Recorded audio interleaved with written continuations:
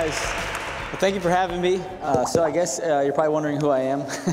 so my name is Josh Bridges. Um, I am a CrossFit athlete and a former Navy SEAL.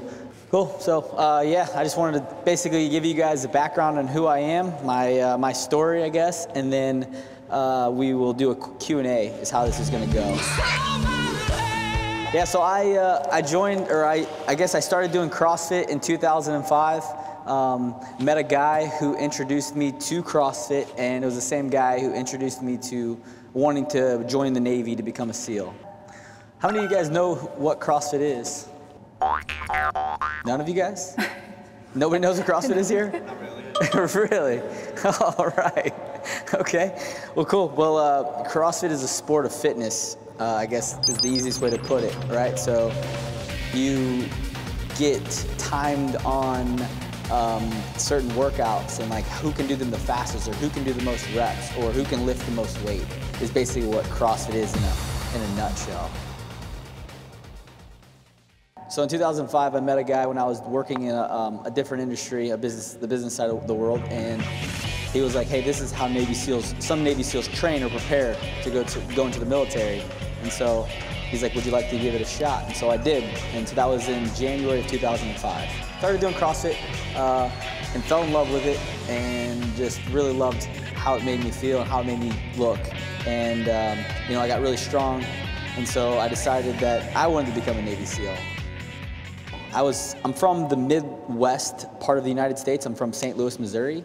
And so in, mid, in the Midwest, you don't really know what SEALs are. Or at least I didn't know what a SEAL was. I knew what the Army was and I knew what the Marines were, but I didn't know what SEALs were. So I started doing my research on them. So then I enlisted in the Navy in, after about a year and a half, so uh, March of 2007, uh, with the goal of becoming a SEAL. I had a SEAL contract, which meant basically after I went to basic training, I could go right to BUD/S. And so I did that. Um, got through basic training, and then went to BUD/S in June of 2007.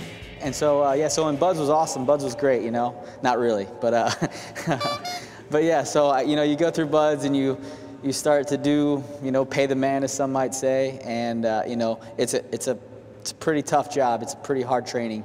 Uh, I actually had a ROK SEAL in my BUD/S class. Uh, his name was Chief Rue, and he was in, he was in my boat crew because he was the same height as me. Uh, great guy, bad dude, really bad dude. I, I, he was awesome. Um, and so him and I were actually the only two out of my original boat crew to make it through, which was really cool. So uh, yeah, so I have a lot of respect for you know the ROK SEALs. I think that's awesome. So great. So uh, and he was he was I think he was 32 when he came through as well. So he was older, and so it was super impressive. Um, anyways, moving on. So graduated uh, graduated BUD/S. BUD/S for us isn't the end of our training. It's not where we get our tridents. Uh, we get our tridents after SQT, or SEAL qualification training.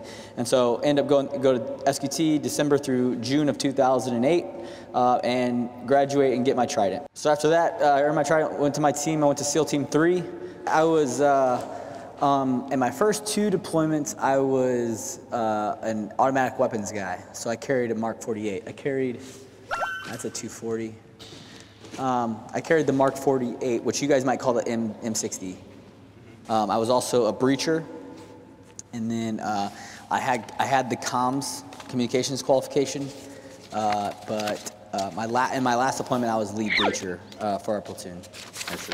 Uh, that was in uh, June of 2008. Immediately deployed to Iraq for a couple months. Um, came back, did my workup in 2009 for my next deployment, which was in 2010 to Iraq. Um, you know, had some great times, you know, made great friends, did a cool job, right? So, uh, and then uh, deployed again my last time in 2012 to Afghanistan. That was my, that was my deployment uh, in Afghanistan in 2012. Notice the puppies. So, yeah, those are some of my buddies. Um, yeah, was good times. We were there during the wintertime, it was cold.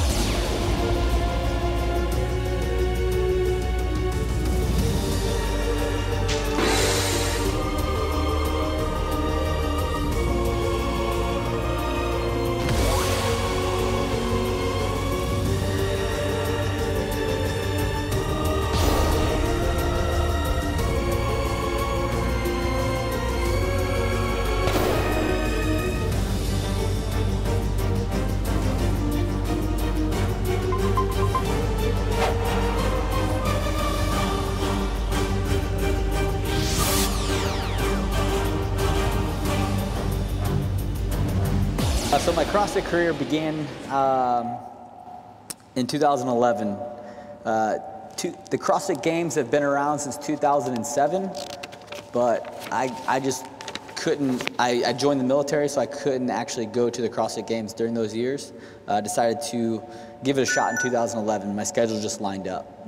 So in 2011, I go to the, uh, the CrossFit Games, um, and I take second at the CrossFit Games, which was, which was pretty cool. I, you know, I went there to, to win, but taking second was uh, a pretty, pretty cool experience, eh, considering that I was in a workup during the time that I was training for the games. So it wasn't like the easiest thing to do to actually get training in. Uh, so 2012, I was on my deployment in Afghanistan. I, I dislocated my left knee, uh, tearing just about everything in my every ligament in my left knee. Um, and so got to come home and completely rehab it. 2013, I go back to the games and I take seventh that year. So I was pretty happy with that after having the knee injury. 2014, go I take fourth, so it was a better year than the year before.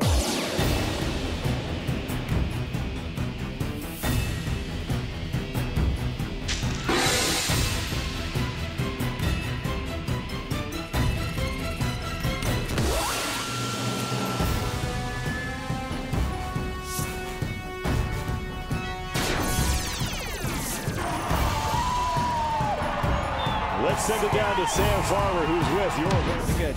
I, uh, I definitely want.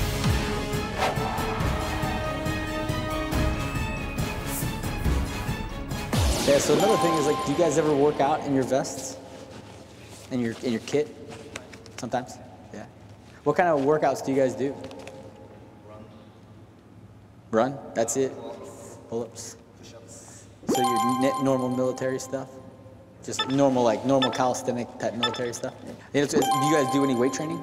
Like yeah, weights. Uh, weight, weights? Yeah.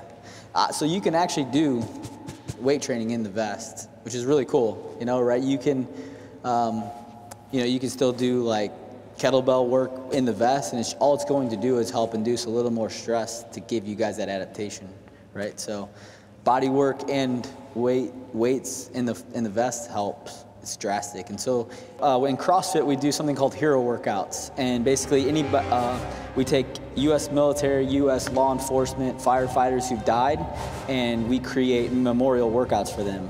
And one, and a lot of times, what they'll do in those workouts is they'll actually have to, you'll have to wear the vest with the plates inside of it. So an extra 20 pounds, which I don't, uh, that would be, what, eight eight kilos, nine, nine kilos, nine yeah, nine kilos uh, for you guys. And so you have to do the workout in the plate carrier. Uh, so one of the hero workouts that we do is called Murph. Um, it, it is it's a memory of Lieutenant Michael Murphy. Uh, he was a Navy SEAL who died in, uh, in combat in Afghanistan on June 28th in 2005. Um, the workout is a one mile run or 1,600 meters, and then followed by 100 pull-ups, 200 push-ups, and 300 air squats and then you finish with another 1600 meter run uh, in, in your, the whole time you're wearing the vest.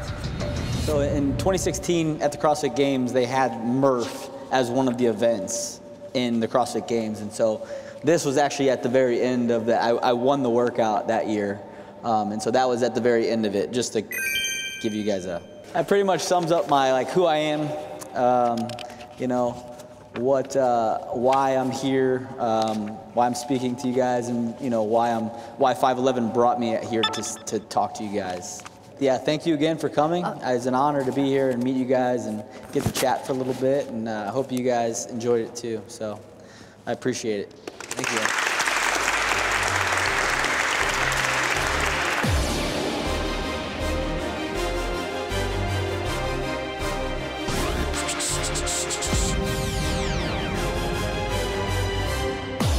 Gonna do, fellas, is we are going to, uh, we're gonna do a CrossFit workout, right? So we're gonna put you into groups of five, and then we're gonna go through two rounds each of doing one rope climb, five pull-ups, five med ball over the shoulder, 10 thrusters, and then 15 uh, kettlebell swings. And each person in your teams of five is gonna go through each one of those movements.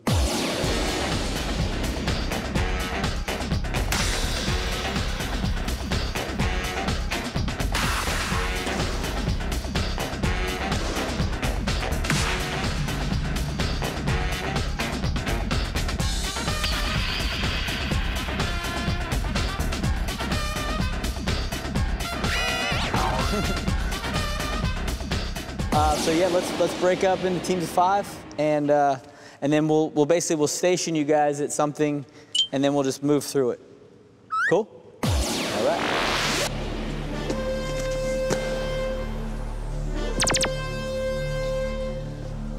Nice.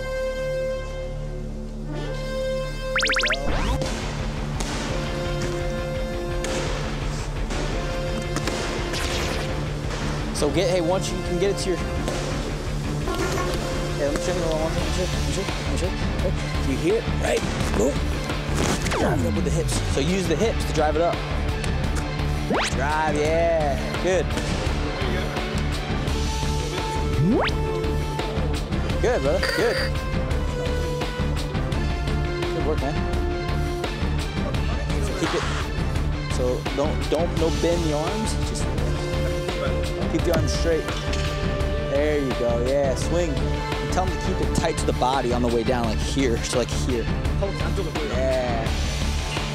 Good, man. Good.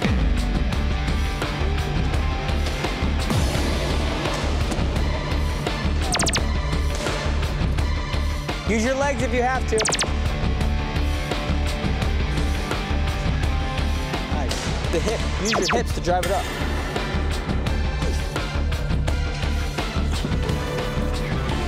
See how it's staying tight? Fire this.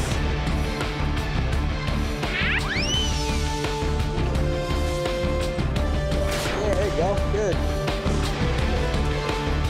Yep.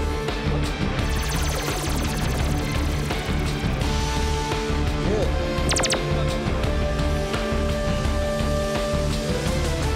All right, fellas, so that was a CrossFit workout. How'd it feel? Good? Good deal. Yeah, so, you know, we did some rope climbs, right? That's gonna work your grip, right? Your, you know, fatigue your grip a little bit. Then you gotta pick up a 100 pound med ball, throw it over your shoulder. That's gonna work, you know, your posterior chain, your hip drive. Um, Thrusters are just going to get your heart rate going a little bit, and then kettlebell swing is going to work your posterior chain. So it's a mix and match of a lot of different things there. Um, but overall, it's just it's a great you know way to improve your overall fitness. One of the most important things about doing this fitness regimen is it sucks, right? It's hard. People don't like it. So one thing you have to remember to do is have fun. I just realized that you know like it's gonna it's gonna make you better in the end. The harder it is, the, the better you're gonna be for it.